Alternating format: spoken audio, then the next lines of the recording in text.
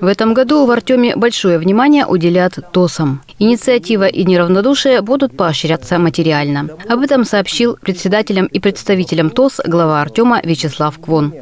Вы знаете, э, опыт э, Артема, он показывает о том, что ТОС – это достаточно такая очень хорошая э, единица для того, чтобы жители, для того, чтобы вы сами могли участвовать в благоустройстве, в решении вопросов каких-то отдельных улиц, домов. Это достаточно важно. Опыт, который сегодня у вас, у многих накоплены, его нужно как-то поднимать, э, его нужно сегодня э, и э, умножать. Развитие территориального общественного самоуправления поддерживает губернатор Олег Кожемяка.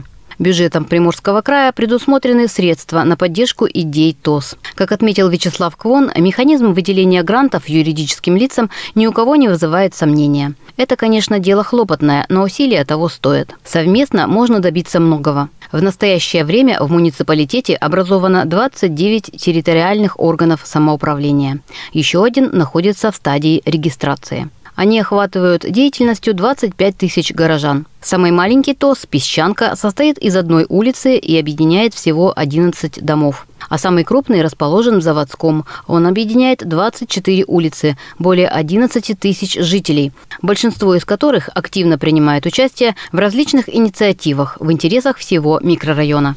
Поселок с каждым годом у нас красивее и красивее. Это потому, что у нас люди такие. Молодежь, это же вообще замечательные они. У нас столько насаждений, столько вот этого всего. Всегда подхожу, спрашиваю, ребята, откуда? Сами, сами ребята вот это делают от души. Это ж такое прямо это. Наш поселок э, с каждым годом становится красивее, уютней, спокойней. Это же вообще большой плюс молодежи. Сегодня и администрация, и общественники готовы оказывать помощь и юридическую, и организационную, отметила заместитель главы Наталья Волкова. В помощь ТОСам создается информационно-ресурсный центр, который будет оказывать помощь в регистрации ТОС, подготовке проектов и различных консультаций. Кто-то, может быть, действительно захочет благоустроить территорию, сделать какое-то углубление того песчанке. Я не знаю.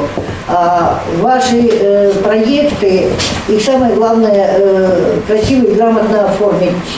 В том плане, что вот сейчас у нас проблема, а когда мы проект сделаем, этой проблемы у нас не будет, мы ее решим. На встрече подчеркнули, что сейчас важно регистрировать ТОС как юридическое лицо.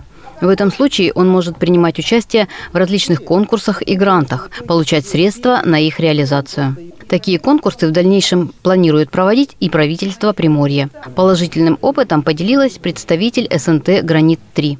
Жители смогли объединиться, создать проект и реализовать свои идеи за счет средств краевого гранта. Так, на территории появились детская и спортивная площадка, беседки, парковка, колодец с питьевой водой. На встрече жители поделились тем, что удалось ТОСам сделать в микрорайонах своими силами, с какими проблемами пришлось столкнуться.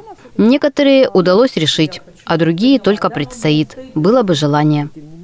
Луиза Сысоева, Габриэль Филатов, Даная Михайлова. Городские новости.